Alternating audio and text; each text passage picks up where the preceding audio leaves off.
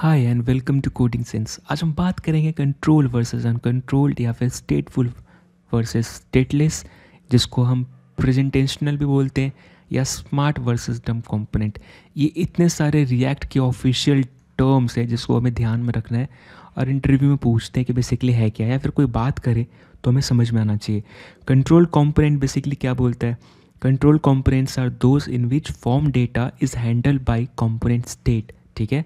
जैसा कि पिछले वीडियो में हमने किया था। ये अपनी पीपल फॉर्म जेस है और ये जो फॉर्म का डेटा है, कौन हैंडल कर रहा है, ये यूज़र नेम कौन, क्या है यूज़र नेम स्टेट है राइट तो बेसिकली ये पीपल फॉर्म जो कंपोनेंट है, ये बेसिकली फॉर्म का स्टेट के साथ टाई अप है। यानी ये मैनेज कर रहा है कंट्रोल कर रहा है राइट यानी कि ये सिंपल एस नहीं है एस फॉर्म नहीं है जिसको रियल डोम इसको मतलब कंट्रोल करेगा। इसको कौन कंट्रोल करेगा? जैसा स्टेट में सेट करेंगे हम राइट वैसा अपने को यहाँ वैल्यू सेट होगी, वैसा डेटा दिखेगा। यानी कि इसको कंट्रोल रिएक्ट करेगा। दूसरा यहाँ पे चेंज नेम चेंज हैंडलर है। जब आप ये कॉल करेंगे ऑन चेंज करेंगे तो ये कॉल होगी। और जब ये कॉल होगी तो फिर आप क्या करोगे?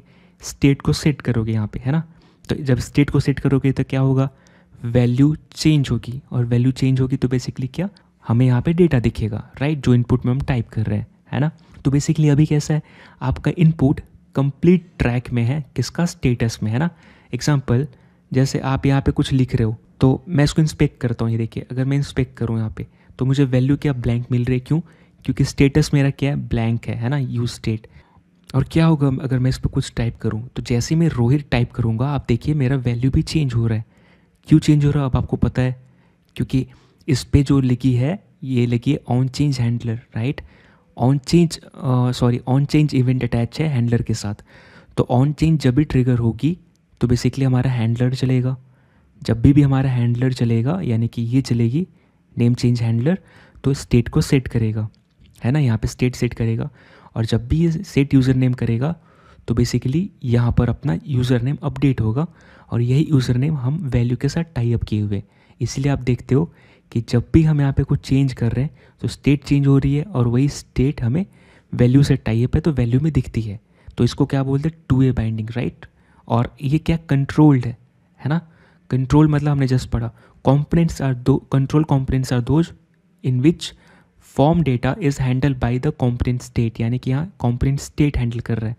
क्योंकि एट द एंड हम स्टेट चेंज करते हैं और वैल्यू भी चेंज हो रही है राइट तो ये था क्या कंट्रोल राइट अब यहाँ पे कंट्रोल ये फॉर्म इनपुट्स है लेकिन कंट्रोल कॉम्पोनेंट्स भी होता है कस्टम कॉम्पोनेंट जैसे कि मैं अगर बात करूँ triple JS right triple JS के अंदर मुझे यूज़र दिख रहा है। अब यूज़र जो है अगर मैं इस पर जाता हूँ तो आप देखो कि इसका कोई स्टेट नहीं है। और इसका कोई स्टेट नहीं है और यहाँ पे ये जो भी आ, काम कर रहा है सिंपल राइट जैसे कि जो भी है बटन क्लिक ये जो भी है अपने पेरेंट से कम्युनिकेट करता है। यानी कि इसको कंट्रोल कौन कर रहा है? इसका पेरेंट राइट इसका पेरेंट बोलता है कि तुम एक काम करो, जो भी काम है करो और मुझे दे दो, मैं चीज़ें कंट्रोल करूँगा। यानी कि यूज़र जो है, किसके कंट्रोल में है? ये अपने पेरेंट के कंट्रोल पे, जिसको बोल रहे हैं पीपल डॉट चेस राइट तो पीपल जो कॉम्पोनेंट है यूज़र को कंट्रोल कर रहा है है ना? ये यूज़र का कोई अपना स्टेट नहीं है है ना? अब इसी को आप बोल सकते हो एज अ प्रेजेंटेशनल कॉम्पोनेंट मतलब बहुत सारे टर्म्स हैं। एग्ज़ाम्पल स्टेटलेस या प्रेजेंटेशनल राइट स्टेटलेस या प्रेजेंटेशनल मतलब क्या? बस इसको आउटपुटिंग के लिए यूज़ कर रहे हैं राइट जैसे यूज़र है क्या प्रेजेंटेशनल अपना कंपोनेंट है, इसमें हम कुछ भी लॉजिक या कुछ भी स्टेट मेंटेन नहीं कर रहे, कोई डेटा होल्ड नहीं कर रहे। हम इसको एज ऐसा आउटपुट करना चाहते हैं राइट स्क्रीन पे तो हमने इसको एज अ डंप बनाया, ठीक है? इसी को आप ये भी बोल सकते हो। Smart component versus dump component smart component मतलब जो स्टेट होल्ड करते डम कॉम्पोनेंट मतलब बेसिकली एज अ आप बस व्यू के लिए यूज़ कर रहे हो, बस आउटपुट करने के लिए आपको ये आउटपुट करनी है। और क्योंकि मल्टीपल करनी है तो आपने अलग कर दिया कॉम्पोनेंट को। और ये कोई लॉजिक होल्ड नहीं कर रहा, बस एक इनपुट हैंडलर है जो पेरेंट्स से कम्युनिकेट करता है। तो इसको आप बोल सकते हो डंप डंप मतलब ऐसे नहीं पैरालिसिस मार दिया दिमाग में, ऐसा नहीं। ये है कि मतलब ये कुछ करता नहीं मतलब कोई डिसीज़न नहीं लेता, है ना? आप जैसा बोलोगे वैसा करके अपने पेरेंट को बताता है। यानी पेरेंट कौन? इसका यूज़र का पेरेंट कौन है?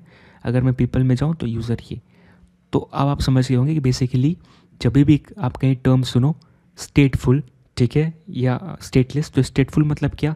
ये अपना स्टेटफुल अगर मैं बात करूँ इसका कार्ड का राइट क्योंकि स्टेट रख रहा है ना? और यहाँ पे जो भी आप यूज़र कर रहा है, जैसे यूज़र पे जो भी क्लिक कर रहे हो, इसका डेटा कौन होल्ड कर रहा है, कौन अपडेट कर रहा है? वेरीफाई यहाँ पे पीपल कर रहा है राइट वेरीफाई हैंडलर के थ्रू तो यहाँ पे पीपल इसको कंट्रोल कर रहा है कि तुम बस वही करो जो मैं कह रहा हूँ और बाकी चीज़ें मैं करने वाला हूँ, ठीक है? तो आप आई होप आप समझ के होंगे बेसिकली कि ये डम्प कॉम्पोनेंट है या स्टेटलेस कॉम्पोनेंट है, ये अपना पीपल जो है स्टेटफुल कॉम्पोनेंट है या स्मार्ट कॉम्पोनेंट जो बोलना चाहे राइट तो इसके मल्टीपल टर्म्स है, बस मीनिंग सेम रहता है कि आप वहाँ पे स्टेट कहीं पे मेंटेन करते हो, कहीं पे मेंटेन नहीं करते हो राइट जैसे कि यूज़र में मेंटेन नहीं कर रहे हैं क्योंकि डम कॉम्पोनेंट है या फिर ये जस्ट प्रेजेंटेशनल कॉम्पोनेंट है है ना? और मोस्टली इस पर लिमिटेड कंट्रोल रहती है, ऐसा भी आप बोल सकते हो, है ना? अगर अनकंट्रोल्ड है तो ये अनकंट्रोल्ड नहीं कंट्रोल्ड है, इस पर कंप्लीट कंट्रोल है है ना? अब एग्जांपल मैं अब लूँ फॉर्म का तो जैसे मैंने पीवल फॉर्म जे इसमें क्या किया वैल्यू अगर नहीं यूज़ करता हूँ तो मुझे इसको एम कैसे करूँगा?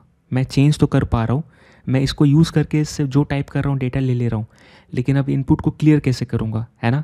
क्योंकि इस पर तो किसी का कंट्रोल नहीं है। रिएक्ट का कंट्रोल नहीं रिएक्ट बोलता है, भाई, ये तो नॉर्मल डॉम में भी काम करता है रियल डॉम में भी राइट ये तो नॉर्मल एस्टिमेल का पार्ट है कि आप लिसन करोगे और चेंज हैंडलर रन होगा और उसे डेटा मिलेगा।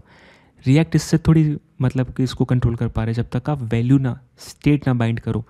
रिएक्ट बोलता है कि मेरा कमांड मेरे स्टेट पे है। तुम बस कैसे भी स्टेट कनेक्ट कर दो, मैं इसको कंट्रोल कर लूँगा। अगर नहीं करते तो क्या? लिमिटेड कंट्रोल रहता है फॉर्म के ऊपर राइट लिमिटेड कंट्रोल मतलब क्या? सिर्फ़ हैंडलर यूज़ कर रहे हो और इसका डेटा लिसन कर रहे हो, उससे ज़्यादा कुछ नहीं। तो आई होप आप समझ के समझ गए होंगे बेसिकली जो बेसिक टर्म यूज़ होता है, सिर्फ़ इतना ही है। कभी भी कंट्रोल स्टेटमेंट कंट्रोल जो भी कंट्रोल्ड कंपोनेंट होता है स्टेट मेंटेन नहीं करता है। जैसे हमने अभी देखा राइट right? सारे एक ही टर्म है। अगर मैं बात करूँ पीपल जेस के अंदर, जो यूज़र है, ये अपना स्टेट मेंटेन नहीं करता। स्टेट मेंटेन कौन कर रहा है? ये पीपल ठीक है?